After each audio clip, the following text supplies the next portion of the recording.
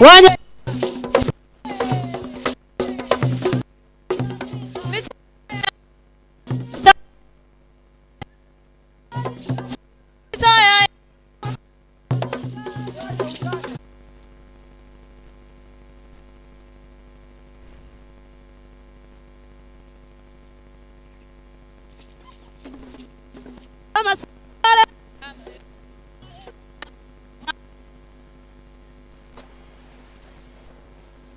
bamasaba wale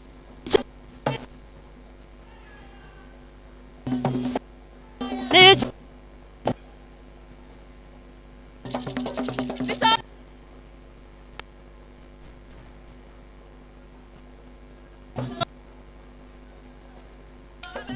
professorial and also our online participants.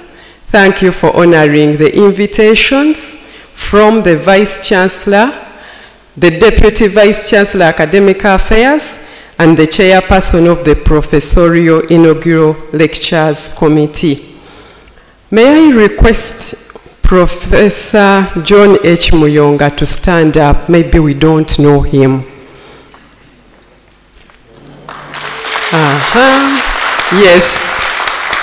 Congratulations in advance. That's why we are here.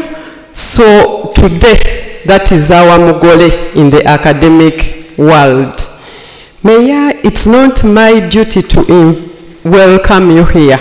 There is a person who is going to officially welcome you, and that is the chairperson of the Professorial Inaugural Lectures Organizing Committee, PILOC, Professor David Bakibinga. Most welcome.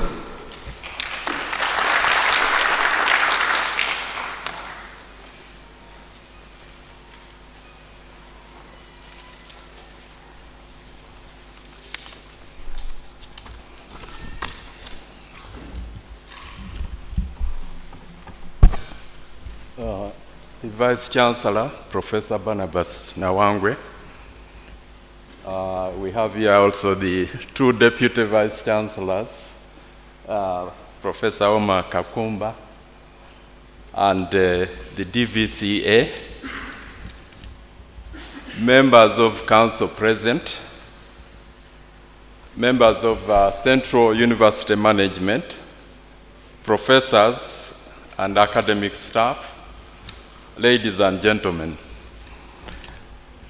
On behalf of the Professorial Inaugural Lectures Organizing Committee, sometimes known as PILOC, I welcome you to the inaugural professorial lecture to be delivered by Professor John Muyonga, Professor of Food Science based at the College of Agriculture and Environmental Sciences.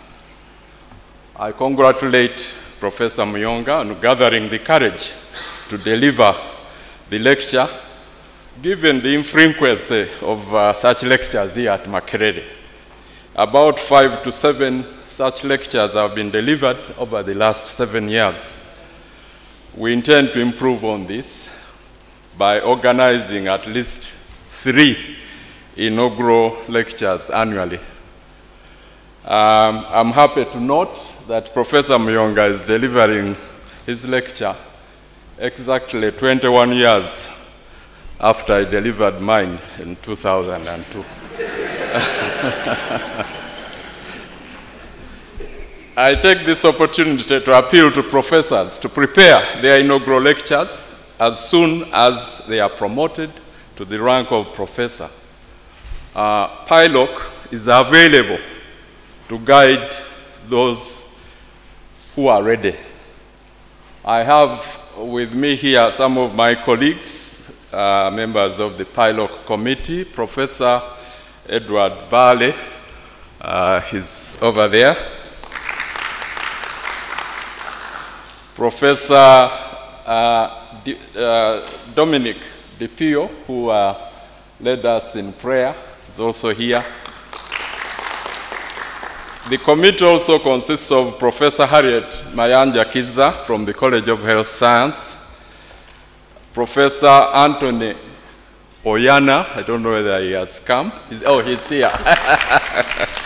From uh, coaches, and uh, Professor Mukadas Buyinza, academic registrar, who normally provides support to uh, the committee.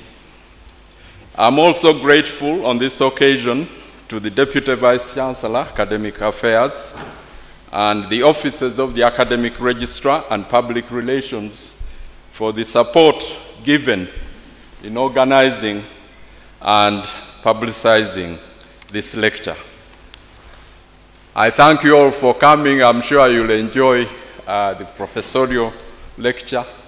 Uh, since all of us have to eat food, I'm sure you'll be interested in what Professor Muyonga has to say about food. So I thank you for coming as we build for the future. Thank you.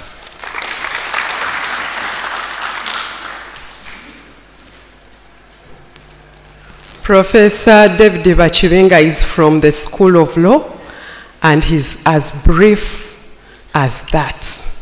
So you're welcome. May I humbly invite the Deputy Vice Chancellor Academic Affairs. If you remember all the invitations originated from the Deputy Vice Chancellor Academic Affairs, this time to do a simple task with respect to protocol to invite the Vice Chancellor of Makerere University to deliver his welcome remarks. Thank you. Uh, many thanks to you, Arita, and a very good afternoon to all the participants in, in this. Uh, it's a simple task for me to invite the Vice Chancellor, Professor Barnabas Nawangwe, to welcome the gathering and also our guest of honor today, the Professor John Muyonga, VC Commander Dresden.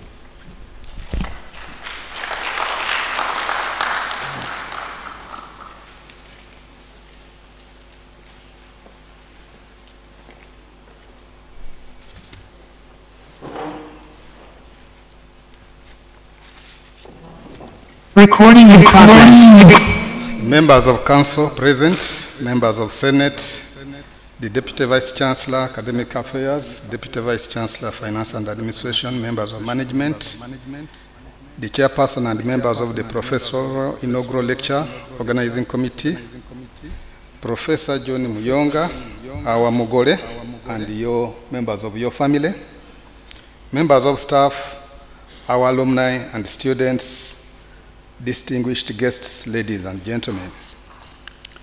I take this opportunity first to congratulate Professor Muyonga on making all necessary preparations to deliver his professorial inaugural- lecture today. This is the way to go as we continue to boost our scholarship, image, and reputation. Promotion to full professor at Makerere University follows a very rigorous process in which an applicant's research, teaching, and service are thoroughly evaluated by peers who assess the quality and the impacts of their contributions at the local, national, and international levels. Inaugural professorial lectures bring together faculty and students along with interested members of the community.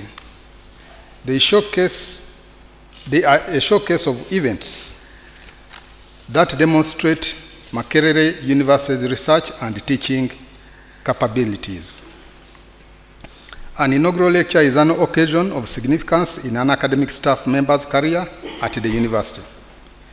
It provides our professors with the opportunity to share their achievements in research, innovation, engagement, and teaching activities before an audience of members of the university community and the general public.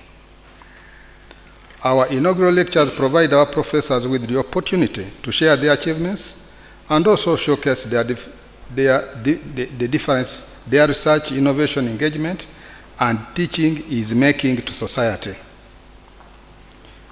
The professorial inaugural lecture should act as an inspiration to all of us as scholars to not only learn but also continuously disseminate our work. I want to implore other colleagues at the rank of professor in the university to emulate Professor Muyonga and also deliver their professorial lectures. I commend the College of Agriculture and Environmental Sciences for spearheading the initiative leading to Professor Muyonga's presentation, and I applaud the professorial inaugural lectures organizing committee led by Professor Bakibinga for a job well done in pre- preparing this event. All professors upon promotion to the rank become candidates for delivering their professorial inaugural lectures. Makerere University is in the process of making the professorial inaugural lectures mandatory, and the Office of the DVC Academic Affairs is working on a proposal which will be presented to Senate for approval. I therefore encourage all our professors to, in addition to their great work, make the necessary preparations to deliver their inaugural lectures. We took a deliberate decision in the strategic plan 2020-2030 to be a research-led university, where research is the cornerstone informing other activities, including teaching and innovations. We have presented our case to government to declare Makerere a research university and are hopeful that this will be accepted. Makerere University already produces a great percentage of the total research output in Uganda. The correlation between investment in research and national development is already well established. We have steadily been improving our systems and processes to create an enabling environment for improved research, which ultimately should produce more professors. We have the highest number of academic staff holding PhD qualifications, and we now attract more research funds. The available funding is also an opportunity to double our annual PhD graduation output targeted at 200. That is, we are at the moment producing 100, but we want initially to double. But really, a universe of our stature should be producing even more than 200. Undoubtedly, it is our role as professors at Makerere University to provide scholarly leadership and mentorship to enable the institution reach these strategic goals and aspirations. I appointed a committee led by Professor Rhoda Wanyenze, which is, among others, scrutinizing the research landscape with the attendant issues which are constraining the optimal realization of our research agenda and targets. The committee is expected to make practical recommendations which will further enable us unlock the existing potential, leading to our improved contribution to the socio-economic transformation of our country. Regarding the infrastructure, I am pleased to inform you that Tororo Cement has also offered to construct a new building that will house the Directorate of Research and Graduate Training with decent facilities for faculty and students to execute, to execute research activities at Makerere University.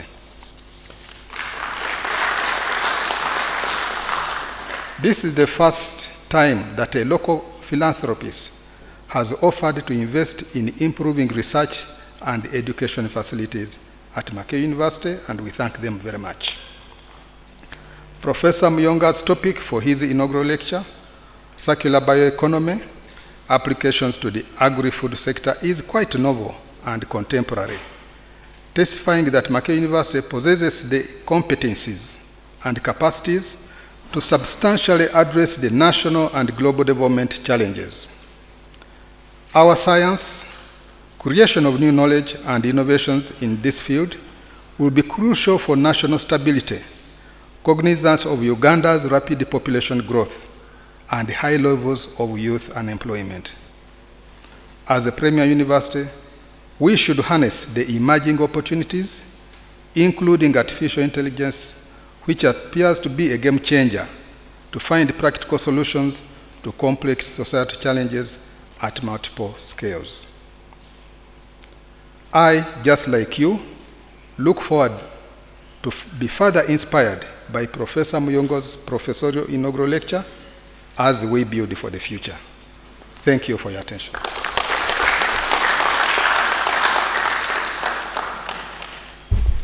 Yes, thank you very much, Vice Chancellor, Professor Barnabas Nawangwe. What the Vice Chancellor missed out was that when you deliver a professorial inaugural lecture, so many opportunities come your way, and we have a living example. Um, previously, we had uh, Professor Edward Bbaale. I'm going to request him to stand up. If you remember, Professor Edward Bbaale delivered his uh, professorial inaugural lecture, and just after some months, he was appointed on merit, yes, as the Director Research and Graduate Training, right? Yes, so we are also here today to witness John H. Muyonga, Professor of Food Science, and we are looking forward. Right. yes, may I humbly request in a minute the principals in the room to stand. I know some are online, but I'm requesting those physically present here in Yusuf Lule Central Teaching Facility Auditorium, the principals, to stand up.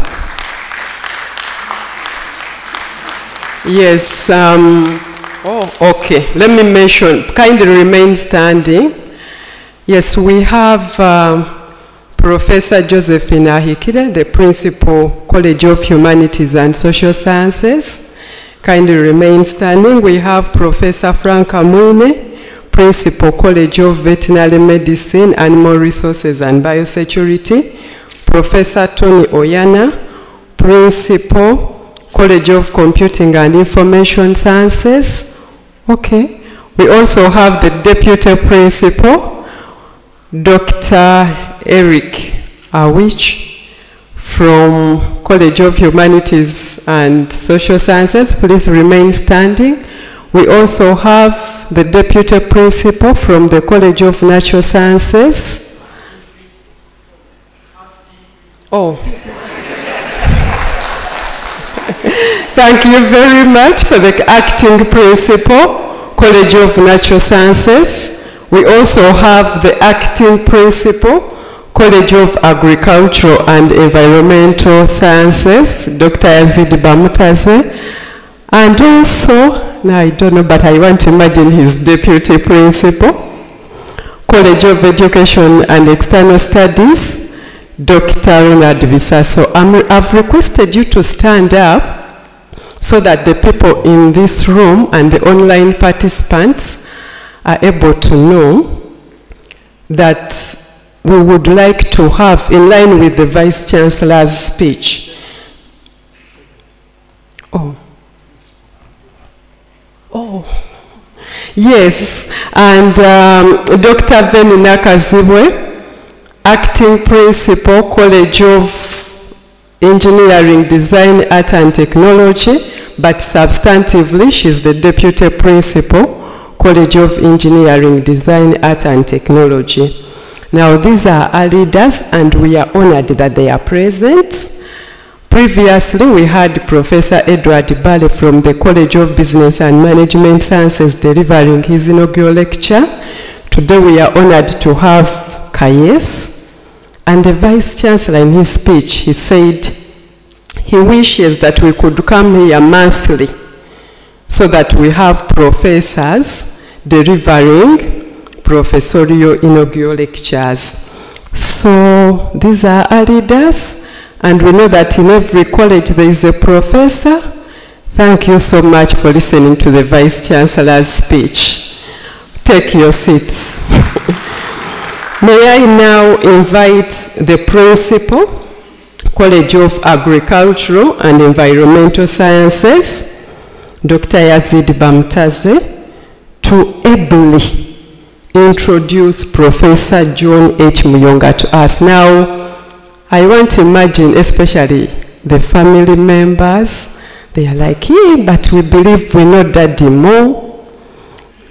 Yes?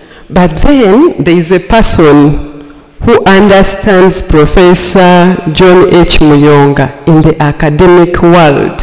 So he's going to speak to us since this is the professorial inaugural lecture by John H. Muyonga.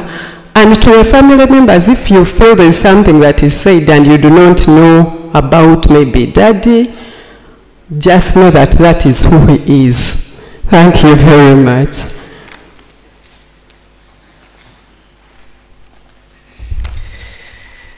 Yes, uh, thank you very much, Rita, for the nice introduction. You have given me two titles, actually three. One is principal, the other acting principal, and the other deputy principal. I take all the titles at this particular moment. I know when I finish speaking, the rightful title will apply. But I also wanted to observe, Rita, that uh, my principal, Professor Goret Nabanoga, promised to be online. If you are tracking those who are available online at the appropriate moment, you may wish to recognize her fully in her capacity. Uh, members of council present here, I can see some seated. The Vice Chancellor, Professor Barnabas Nawangwe, members of Makerere University Senate, the Deputy Vice Chancellor Academic Affairs, Professor Umar Kakumba, the Deputy Vice Chancellor Finance and Administration, Professor Henry Alinaitwe, the Acting Academic Registrar, members of Makerere University Management present, college principals already introduced earlier, the chairperson of PIROC, Professor David Bachvinga, our main guests are Professor John Muyonga, together with your family, members of staff, invited guests, distinguished ladies and gentlemen, good afternoon. As College of Agriculture and Environmental Sciences, we are extremely gratified by your presence today, and we thank you for dedicating time to come and honor our own Professor John Muyonga deliver his inaugural lecture. I have no doubt personally that his talk today will inspire many of us regardless of our positions. I take great honor and pleasure in the opportunity given to me personally to introduce or give citations, as we call it in academics, about uh, the academic giant of the caliber of Professor Muyonga, while also recognizing the daunting task at my disposal, essentially to abstract him in just 10 minutes. So I will start with the basic facts that have already been uh, given earlier on.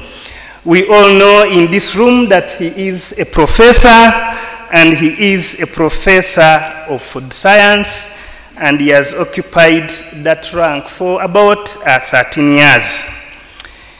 You may also not know, but it's good to know now, that he's one of the 19 professors in the College of Agriculture and Environmental Sciences. As a college, we also take pride that he's one among the 23 percent of all the professors serving in Makerere University. We occupy, I think, the first position. But what has been his journey that has gotten us uh, here today? In his foundation and formative stages, Professor Myunga started his education at Ukedea Demonstration School. He apparently attended many primary schools, including Vuvulo Mixed Primary School, Navumali Boarding Primary School, Nabongo Boarding Primary School. When he completed that, he attended his secondary education, first of all at Naumali High School, and later joined Makerere College School, which is very close to us here. As it was at that time, he joined Makerere University to pursue a BSc in Food Science and Technology, which he completed in 1994, obtaining the highest CGPA from the then Faculty of Agriculture and Forestry. Needless, needless to say, colleagues present here today, that at that particular time there was barely no internet in Uganda, there was no Google, and most importantly, there was no chat GPT to aid students. So his competencies and qualities can be traced in his DNA. He later joined Cornell University in the US, graduating with an MSc in food science in 1996. And after that, he continued his studies, pursuing a PhD, which he did in South Africa at University of Pretoria, completing it in 2003. His academic career started in 1997 when he joined Makerere University, appointed a lecturer in 1997. In 2002, he was promoted to senior lecturer. In 2006, he was promoted to associate professor. And in 2010, he was promoted to full professor. And it's for that reason, obviously, why we are here today. He earned his professorship at a tender age, and it took him a period of just seven years after completing his PhD in 2003 and becoming a full professor at Makerere University in 2010. I have to state uh, factually that he never skipped any rank, so his progress or his journey was very progressive. Professor Muyonga has been steadfast in conducting impactful scholarship and research, and we all know that he stands tall locally in his entity, nationally in Uganda, regionally in East Africa, continentally, as you know, and internationally, as we all know. He is a strong scholar with a stellar record of academic uh, outputs, and his uh, publication portfolio stands at over 80 peer-reviewed journal articles published in his 26 years of service to Makerere University. When you do a simple calculation, Vice Chancellor, that translates to about uh, three journal articles per year, which is six times higher than the modest institutional requirement. Apparently, when you read the policy document of Makerere, we are merely required to produce at least 0.5 publications per year per academic staff.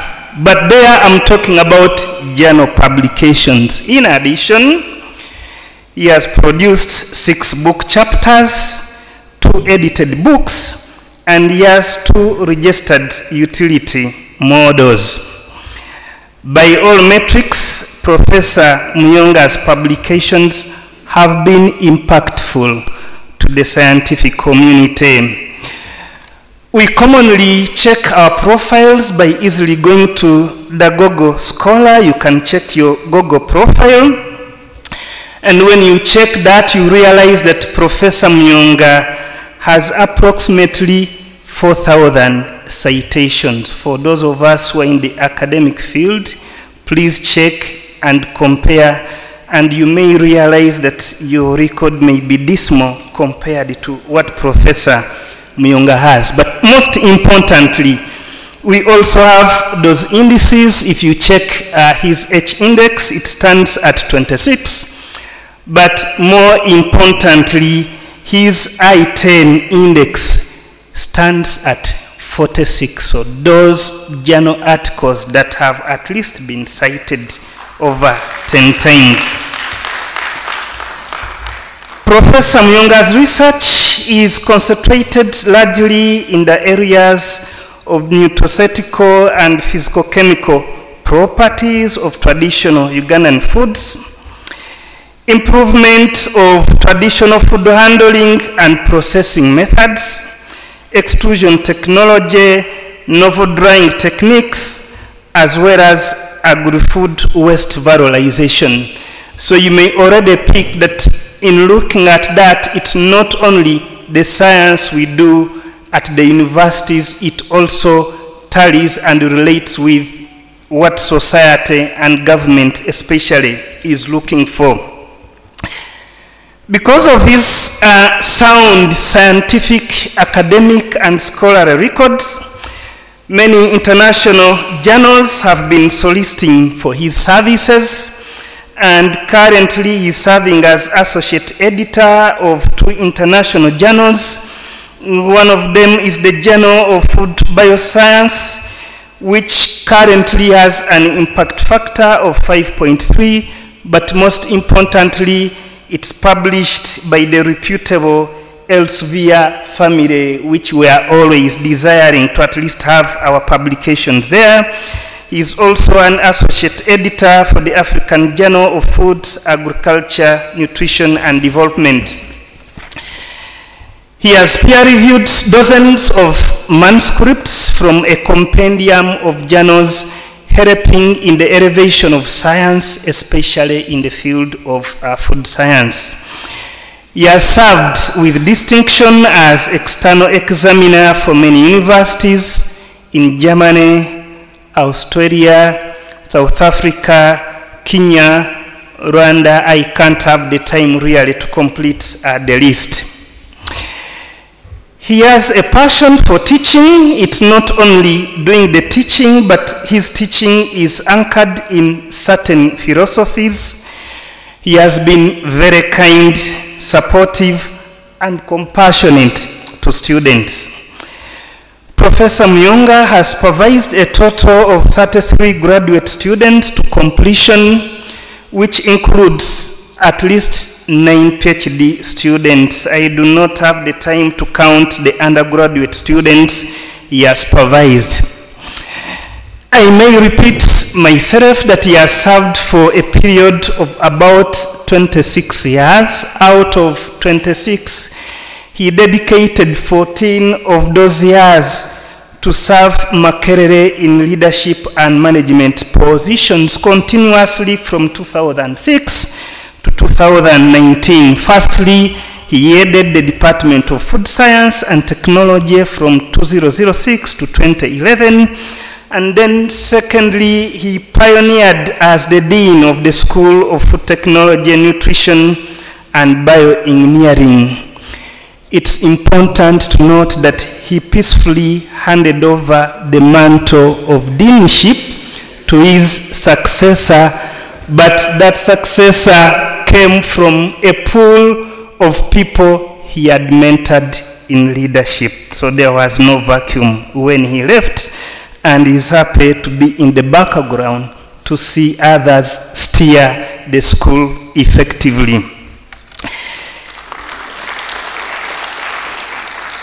His leadership was innovative and transformational in nature, developed four new programs for the school at the time. He improved research infrastructure, increased enrollment of graduate students, increased the overall publication outputs of faculty and students in the school, and he committed time and invested himself in making sure that there is a commercialization of various new food products in the school.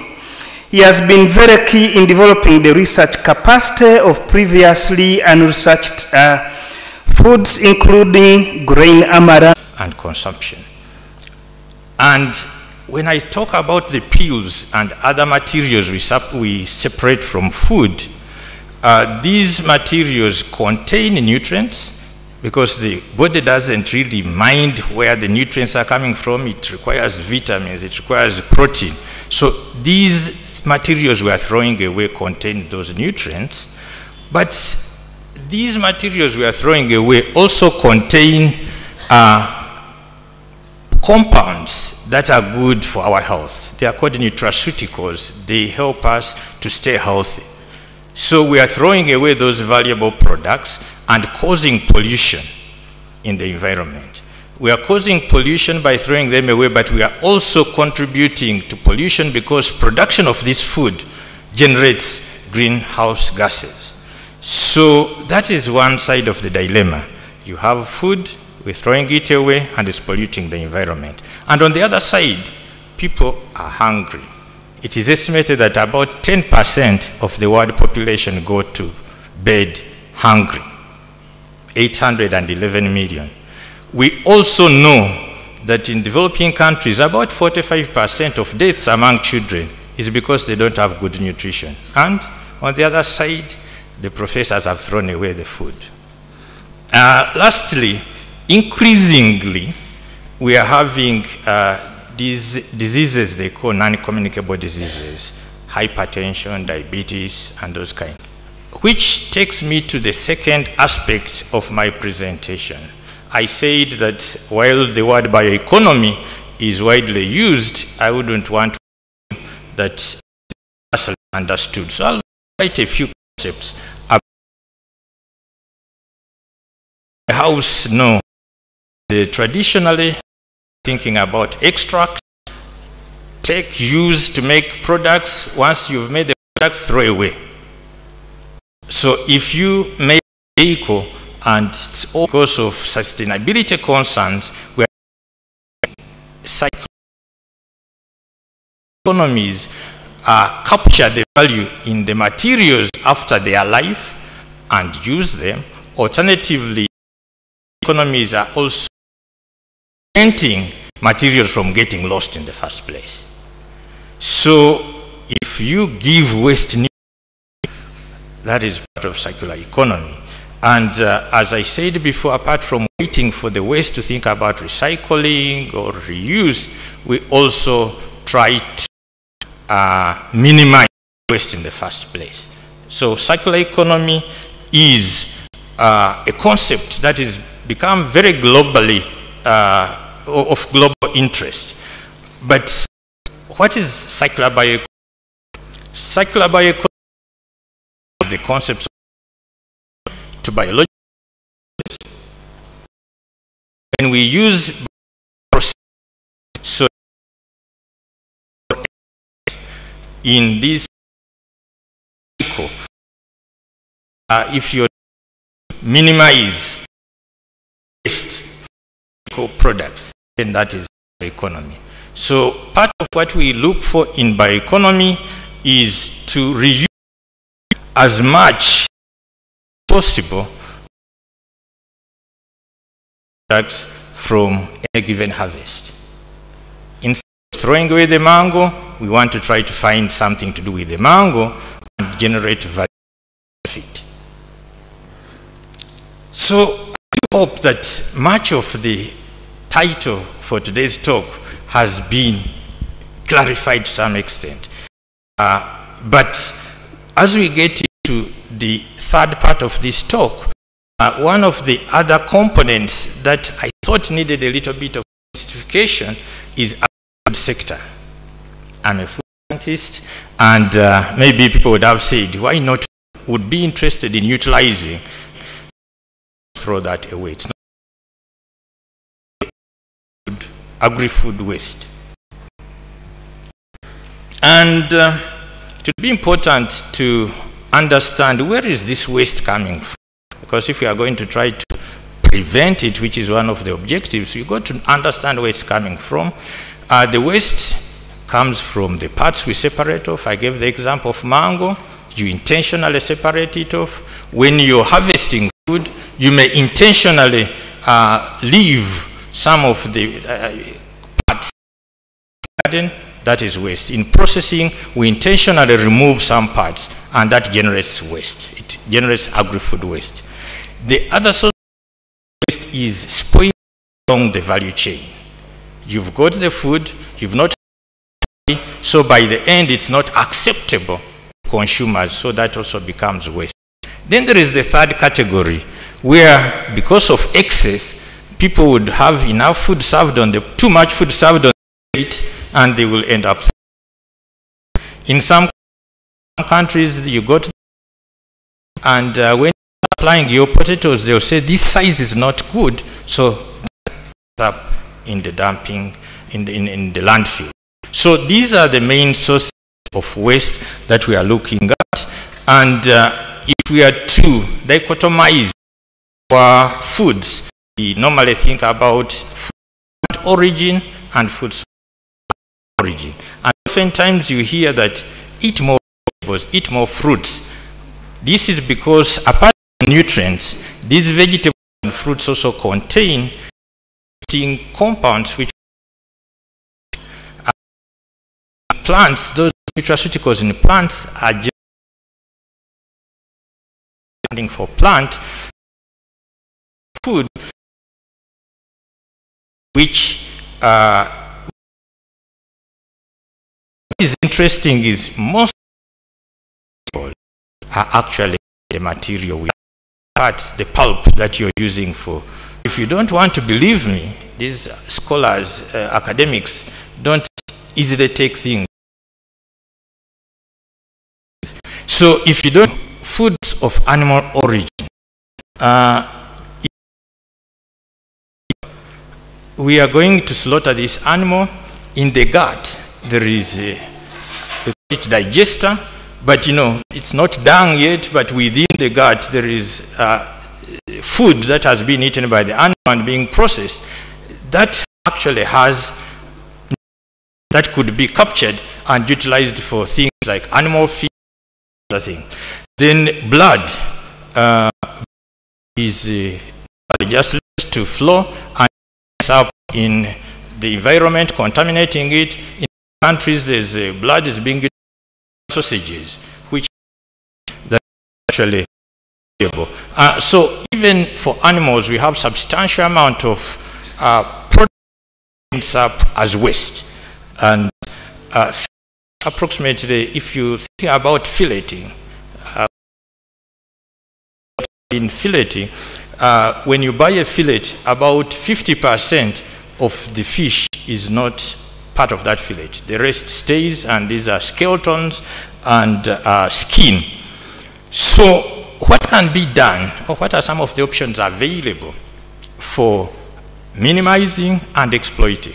I have to emphasize we don't want to create this waste so that we do the value addition to it. If we can minimize it, that would be better.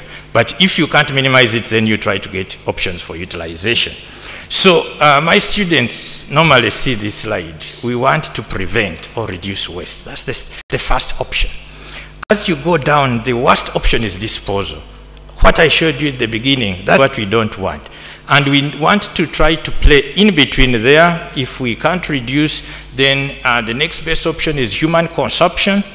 Uh, the other possibility is producing bioproducts. Bioproducts, uh, let's not confuse that with bio. Bio is just biological products.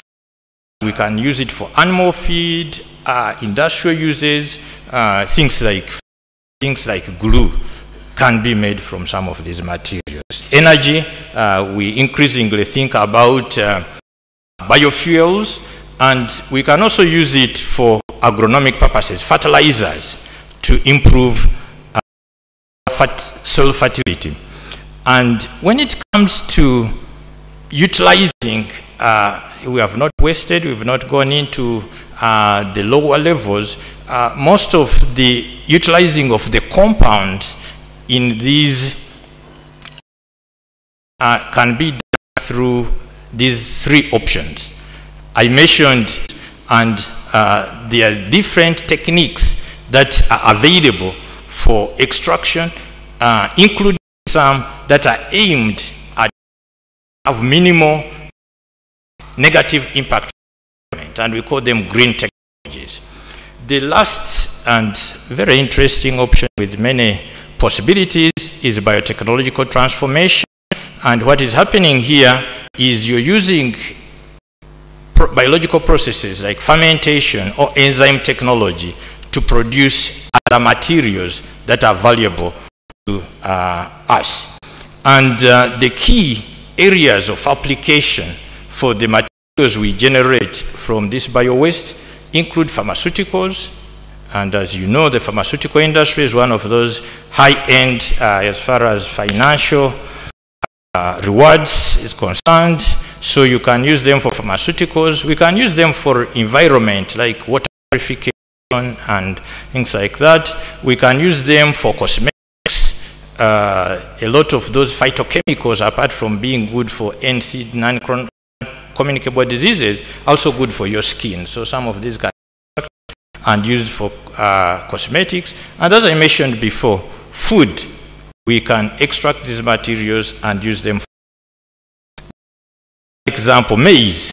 When you look at maize as our raw material, we can this diversity of products from maize. And most of them are not coming the part we eat, are coming from the bran. So we can exploit maize and make a large diversity of very valuable products. Even when you think about fish, uh, we can get fish protein, things like fish uh, enzymes. So there is really a lot that can be biomaterial. Uh, biotechnological processes. Uh, this is application of enzymes and microbes, and we can do that to uh, get this diversity of uh, usable, uh, very useful products like biofuel, tempeh food, antibiotics. So there, there is really diversity of value, you know, products, valuable products that we can generate from the material that is currently being put to waste. I now get to what I think would be the core of what have we contributed to this journey. And, um, my contribution, and while I say my, I mentioned before, work with a lot of colleagues, but uh, this has a large footprint of what my, my own contribution uh, can be divided into these two main areas. Uh, reduction, how do we reduce agri-food and the second one is valuable product production, which we also call valorization. So um, we looking at uh, how we make sure that we don't generate waste in the first place, but if the waste or the byproducts are there, how do we utilize the byproducts? And when it comes to reduction, two main objectives. One is uh, developing and promoting technologies, for service handling technologies to avoid the spoilage from happening. And the second one is uh, really about the developing value-added products from those foods, and those value-added products are stable. So apart from, you know, if you have a mango, you can keep it as a mango, and you try to prolong its life. But you may also decide to make a product of mango which is value-added and stable. So that is as far as waste reduction is concerned. My main work has actually been on to the right, agri-food waste valorization, and here we've mainly been interested in characterizing the waste, developing protocols or methods for getting valuable products from this waste, and then evaluating the products that we make. I'll start from the area waste we get the way we, the way we handle food. So you possibly are reasonably familiar with uh, some of these uh, not very uh, good ways of handling food. Uh, so in a project, we had some two uh, graduate students on this project. How do we it, it had a science and social science. We had one student in social science and one in food science. And determine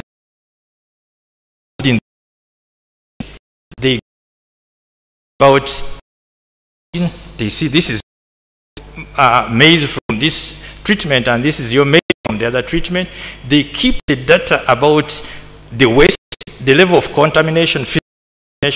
That was far more effective in making the farmers adopt the improved methods of handling food.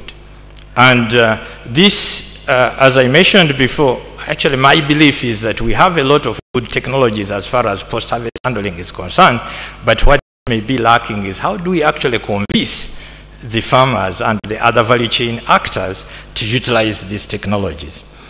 The second uh, example area of uh, waste reduction want to highlight, uh, we've, uh, with the colleagues, men and engineering, uh, worked on developing dryers which can be used by farmers and uh, you know, other people to give us good value products stable. Uh, this dryer uses hot water and it's called refractance window dryer. It's actually available. Some uh, SMEs are currently experimenting with it. That is a, a, a prototype which is in Kabanyolo and this is a bigger prototype which is also in Kabanyolo. These dryers are very efficient as I'll show you in uh, this, uh, slides coming. So as far as uh, preventing waste, that is one aspect. Give the farmers actors that can make the food to the table without getting spoiled in between. But sometimes that is not feasible. And what you need to do, we know, for example, in Uganda, most of our fruit is during one season. So even if you try to preserve it, it becomes a problem. So, I mean, you wanted to do good post-service handling. So what we've done, uh, the other part of our research is really about preservation. Create that stay longer. And you, hopefully all of us in this room, hopefully many online are familiar with this fruit. Uh, this fruit we normally eat uh, that part I'll talk a little bit about the parts we don't eat, but to begin with, I'm going to start with the parts we eat. These parts we eat also don't stay very long. We wanted to do something to extend their uh, life. And why, why are we interested in jackfruit? If you don't eat jackfruit, I hope you look at this slide and start eating jackfruit because jackfruit has a number of uh, healthy benefits.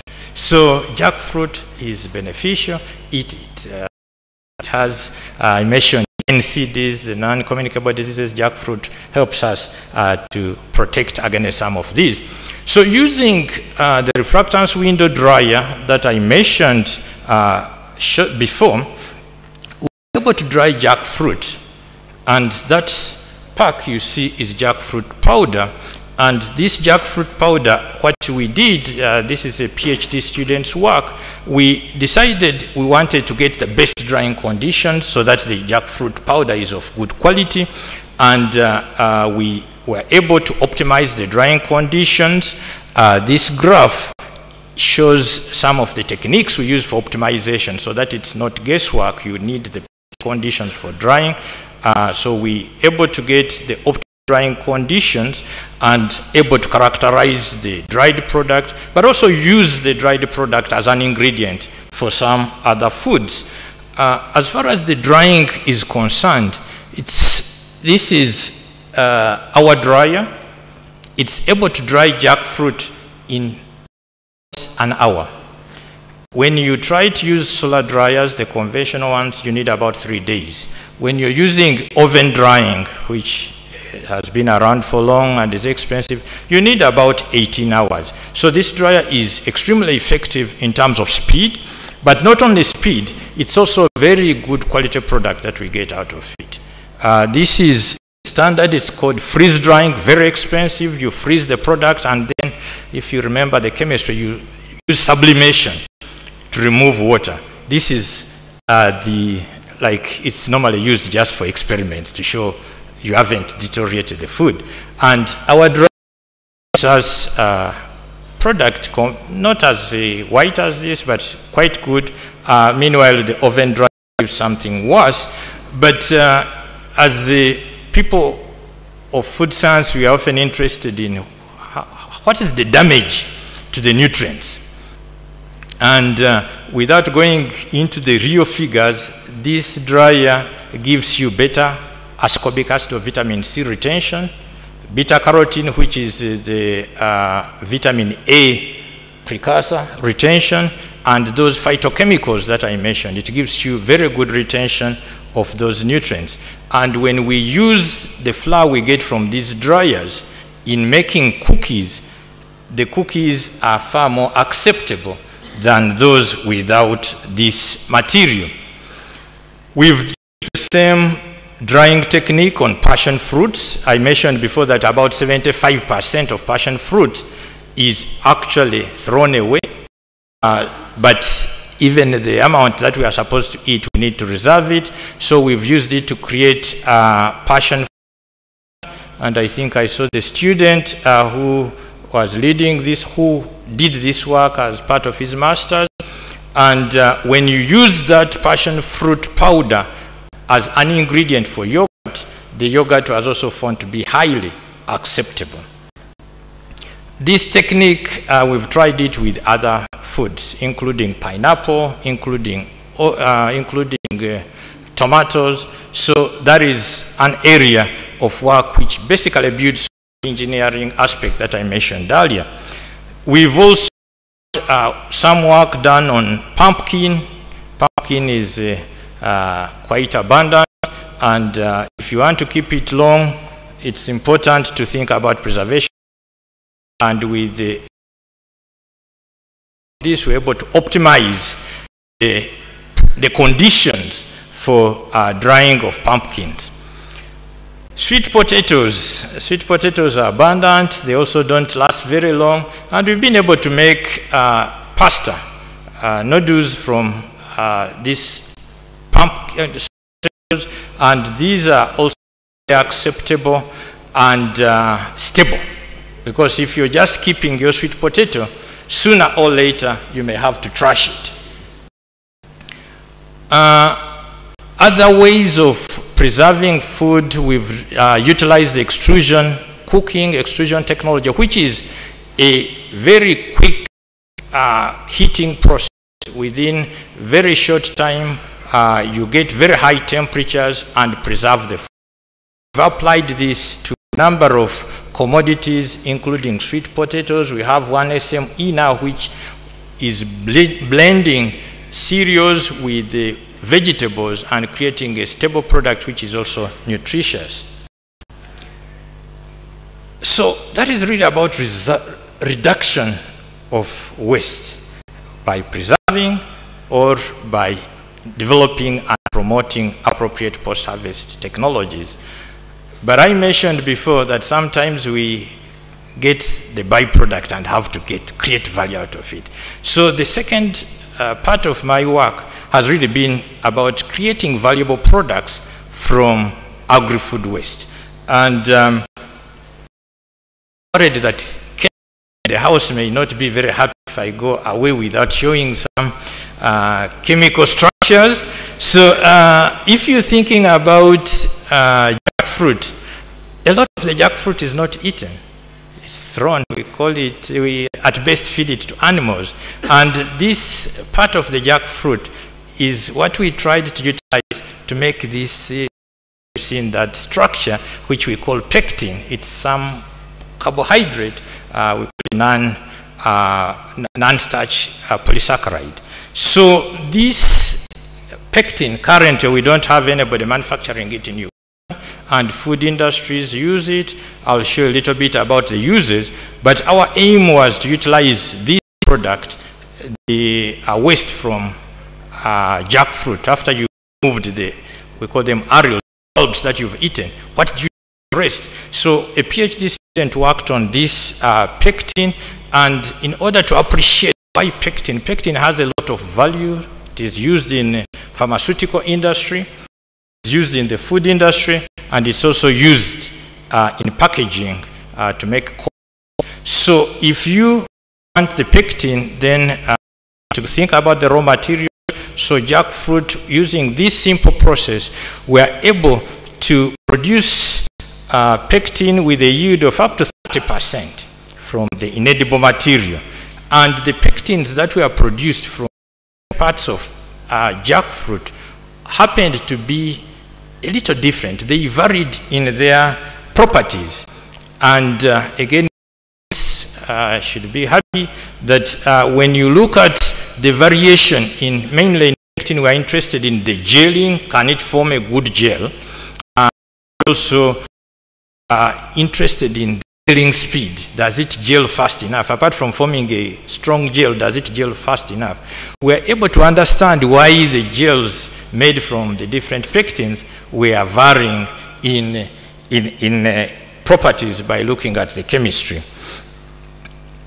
I don't know whether members in this hall are familiar with this fruit. It's a tree fruit, uh, tamarind, and it's underutilized. Funny enough, for this tamarind, most of the fruit is edible. The seed is not edible. So we looked at the characterization of the fruit and realized that the seed has very, very high levels of phytochemicals. And again, phytochemicals are the good chemicals that we find in plants.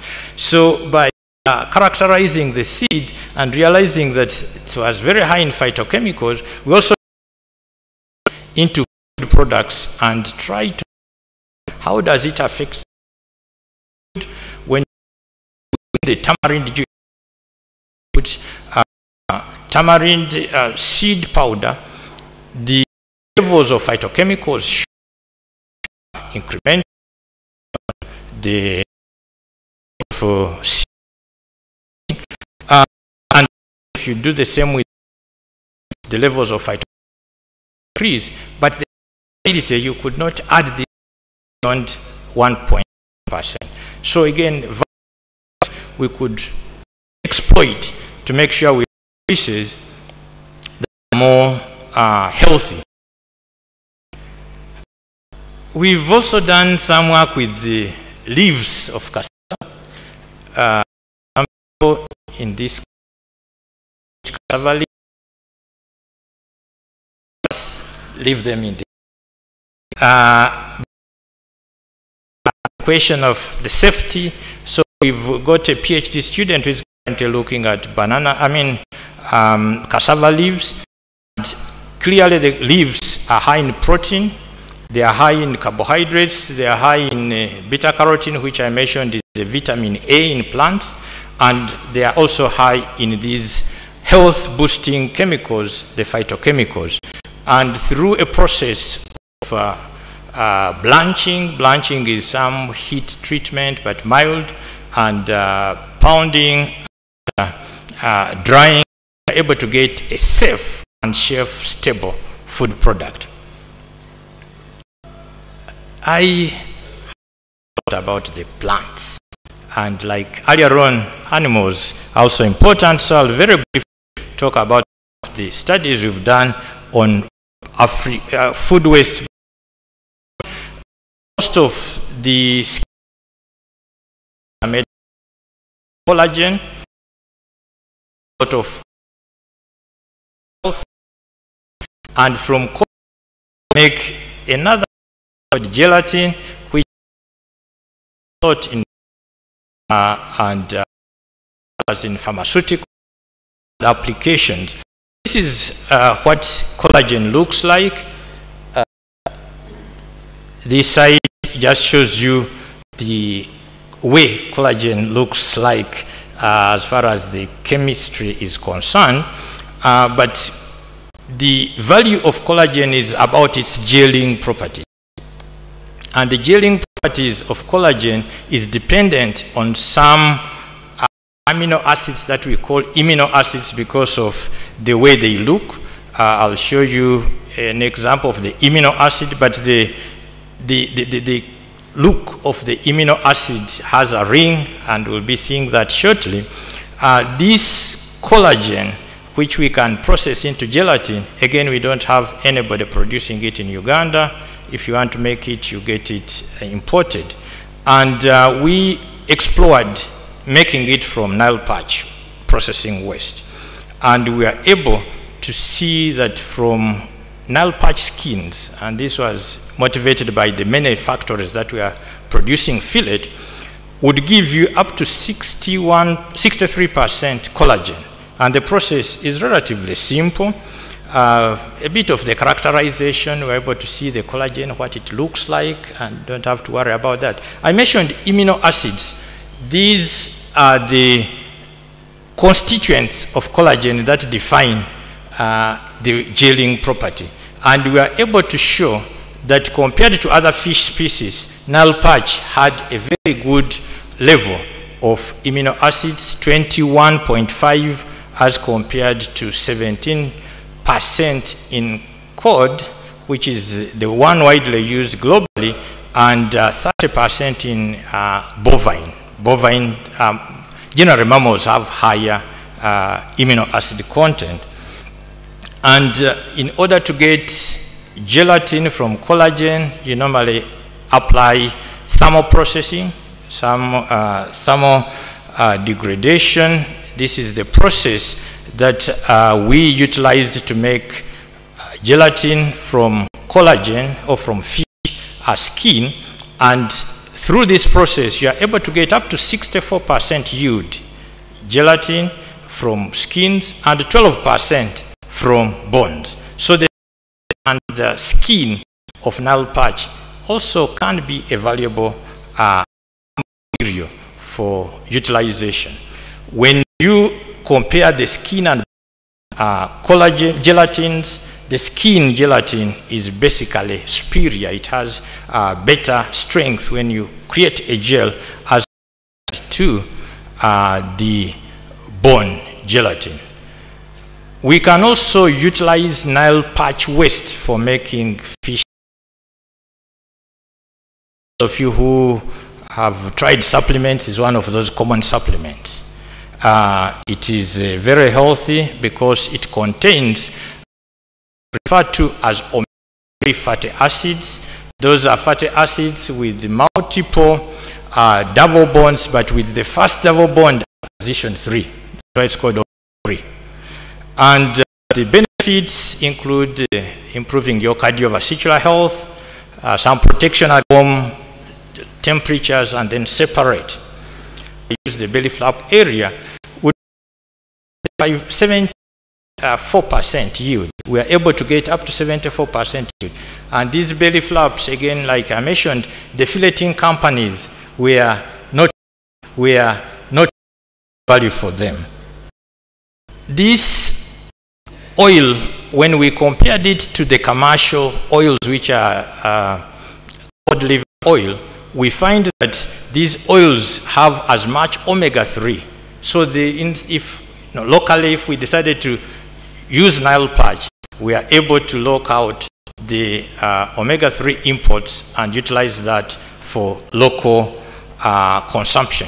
The oil is a bit unstable, so it would need stabilization if uh, produce it commercially.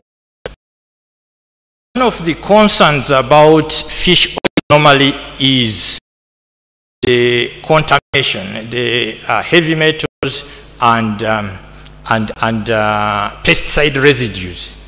And when we assess these oils, we notice that the levels of heavy metals, the levels of uh, pesticide residues were far below the recommended maximums, which means that this is uh, safe for utilization.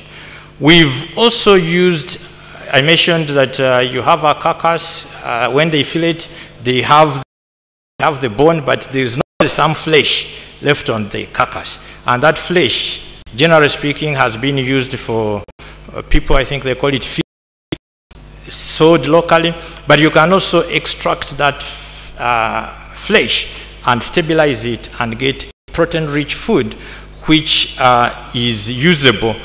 Very high protein, up to 27%, but also when we're thinking about protein, one of the aspects we need to be concerned about is the quality of the protein. This is highly digestible, which means it is high quality protein. And uh, this work uh, is, uh, is, I think, one of those uh, low-hanging activities that even uh, relatively, with relatively little capital, one can translate into uh, products. So, ladies and gentlemen, I have run first uh, some of the work we've done specifically sector. I've done which is not that doesn't fit in this presentation because I needed something focused. Uh, but what else can be done in this area? I think there is still plenty that can be done. While I've touched a number of uh, agri-food waste materials, we have a lot of biodiversity and can deal with products from a lot more uh, agri-food materials than what I've, I've, I've spoken about. But it's not enough to keep doing that. I think technologies are efficacious, uh,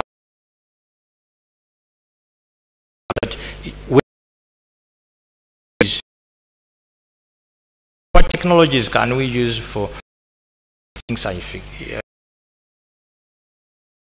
is high, things like nanotechnology, highly applied uh, technology, as well as the economics of uh, everything we are doing.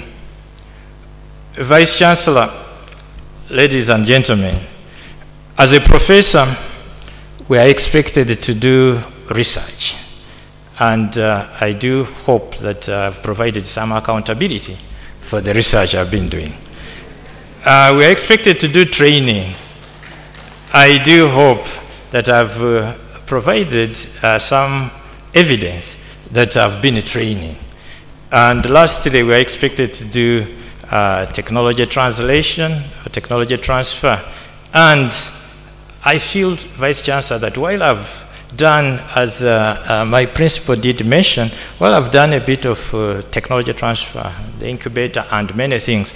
I feel like during my remaining years, I want to put a lot more emphasis in this, and I do hope that I'll get the collaboration and the support to make this possible. Thank you very much, ladies and gentlemen.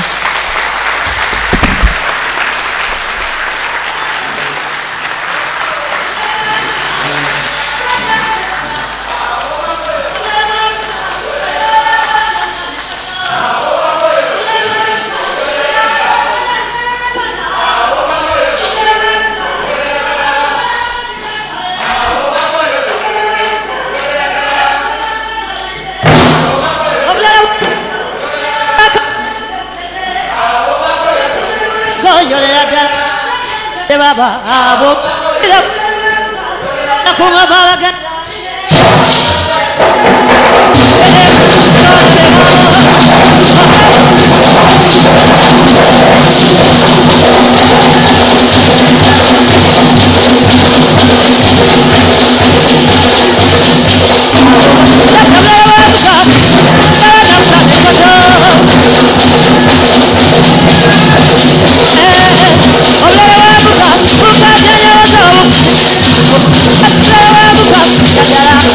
Bye.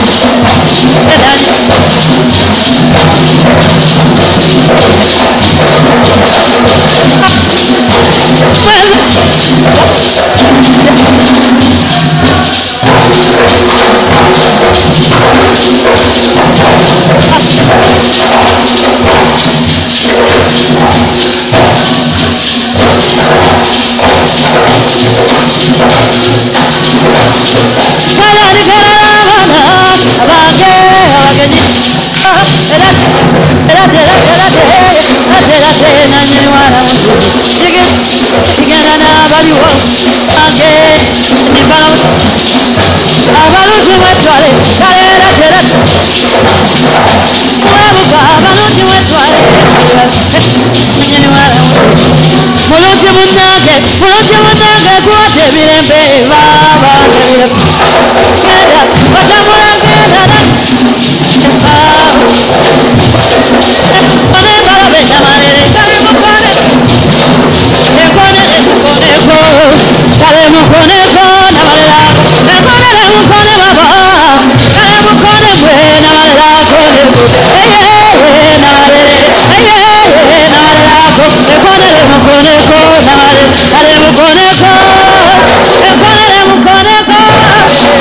kale munyeye lwako nalerako ekonere mukoneko namale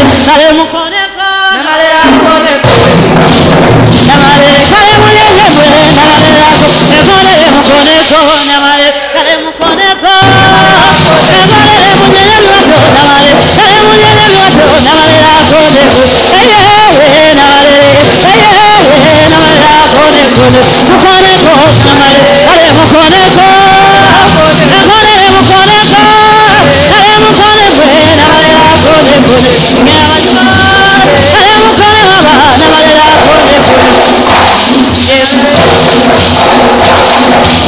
conexiones con el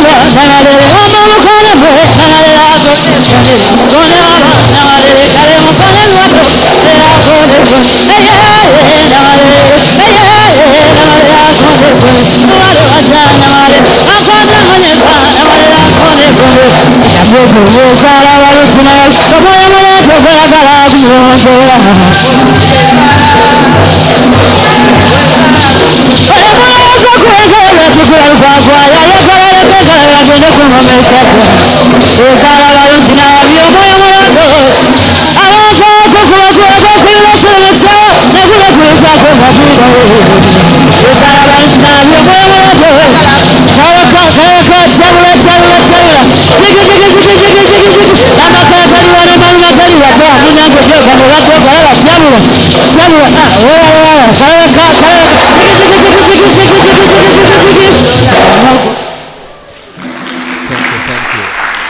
Yes, thank you very much. Makerere University Performing Arts and Film and uh, the only college, College of Humanities and Social Sciences. Yes, today has been a very special day to the College of Agricultural and Environmental Sciences. And may I humbly request all members of staff present from the College of Agriculture and Environmental Sciences to please stand and wave to Professor John H. Muyonga. Yes, thank you so much and uh, congratulations. Yes, online we have 186 participants. So we thank them for also actively following the proceedings. Permit me once again And before I deliver the message of congratulations, allow me to say, colleagues, that this has been a very, very momentous afternoon for all of us uh, to appreciate the academia and the work that has been uh, done for some time by Professor Muyonga. And good enough, he has assured us that he is still with us and is still God, God, God, God, the good Lord. We pray to the good Lord that he keeps you around for a very, very long time. With that assurance, I'm sure the academia, Makerere, and the community will benefit a lot from you. Allow me to echo the message of the Vice Chancellor uh, that was reflected in his remarks, that uh, indeed professorial inaugural lectures are important representation of the academic nature of the, the individuals, but also the academic nature and value of the university. Because the demonstration that we have seen in Professor Muyonga's delivery uh, really showcase that we have in Makerere, we have huge potential that we can utilize to impact the community. There is a lot of potential that we can uh, deliver to the community in translating the research that we do into products, into services, into training programs, into, into capacity building that can really, really add value uh, to the livelihoods and uplifting our communities. So he has also demonstrated uh, that uh, through this we are able to promote the national development agenda because his works blend harmoniously well with the national development plan and uh, I want to draw your attention to the emphasis on the principles of the circular economy that he has uh, well addressed and articulated, which reflect the whole idea of the knowledge economy. And, uh, you know, where consumption and production are based on intellectual uh, capital, we can really reap a lot for the individuals, for the academy, but also for the wider society. Professor Muyonga has also demonstrated his contribution to the advancement of our institution's strategic goal to be a research-led university, which calls for the development of a framework uh, for packaging and marketing research outputs and uh, for appropriate adoption and adaptation by the various stakeholders, be it the business community, be it government, governmental agencies, uh, and also the local leadership that is looking uh, around uh, to impact and uplift the community. I also wish to uh, mention that Professor Muyonga's uh, delivery today has showcased the alignment of his research efforts with our uh, government's agenda that is enshrined in the NDP 3 and the strategy that is to harness our abundant factors of production through knowledge-based economy of science, technology, and innovation. And in order to do this, the strategy involves deliberate effort towards agro-industrialization in order to increase commercialization and competitiveness of the agricultural production and uh, agro-processing. The universality of Professor Muyonga's research has demonstrated here uh, also demonstrate greater efforts to the current global issues that are reflected in the sustainable development uh, goal number two, which is to address hunger, okay, zero uh, uh, hunger, which is aimed at wasting less food and supporting local farmers, as well as the SGD 12, okay, which uh, deals with responsible consumption and production. Uh, colleagues, ladies and gentlemen, it is estimated that uh, has again highlighted that 13.3% of the world's food is lost delivered. Professor Muyonga. Muyonga, congratulations. Comment that uh, faculty, all of us who are here, sorry, your lecture, so that we make this much more regular. My office has committed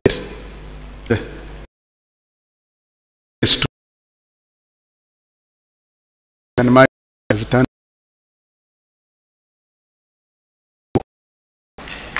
Yes, we should be and in a year. Health people are that yeah the hand of is well in academic registrar that has uh, showing enthusiasm to, to witness and give support. I want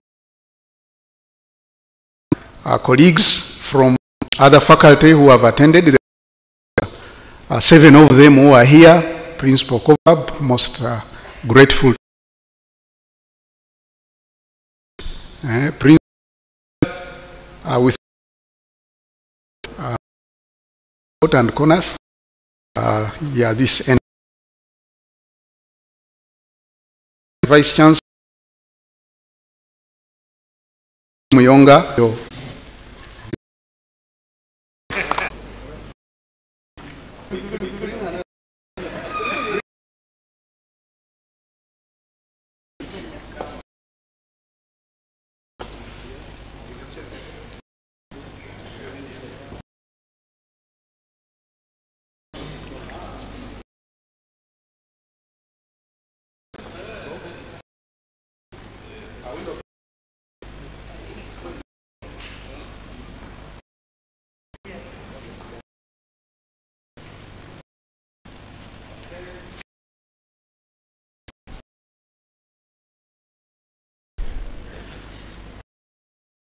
Uh, kind you all, may I request the principals and deputy principals in the room to join the photo.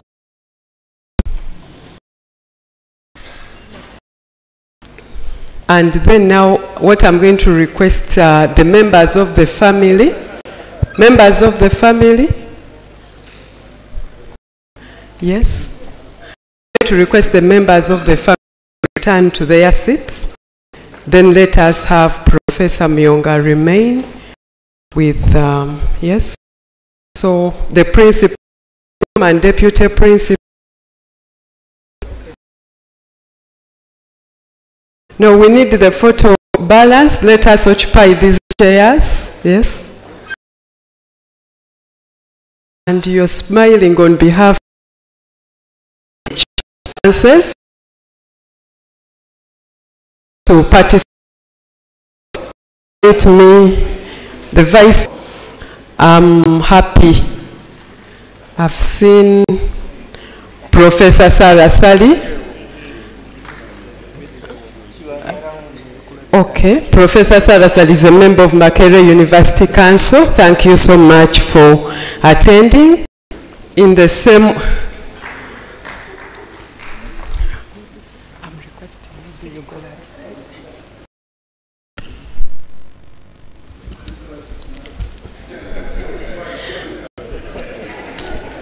We take this opportunity to thank the Institute of Open Distance and Life Learning. I'm glad that Professor Paul Muyinda is in the room. The Institute of Open and Distance and Life, Life Learning has been handling the live streaming for this occasion. For this occasion. Kayes Communication Office, Hasfa, Mariam, and Albert. Thank you so much. Makerere Public Relations Office, media team, stream and digital media, Office of the Academic Registrar, Office of the Deputy Vice Chancellor Academic Affairs, Doreen Dickens Joyce. We are coming to the end.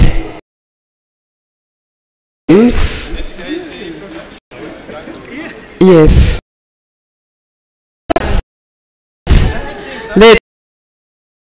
Four anthems.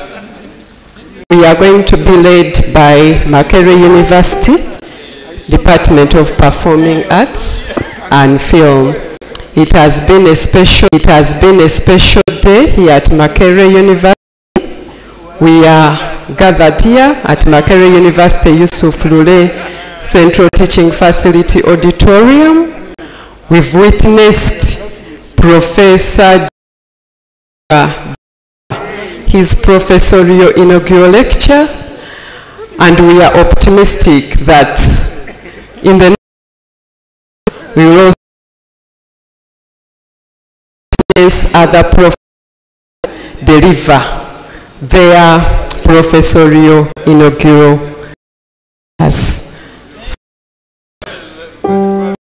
all rise for the anthems.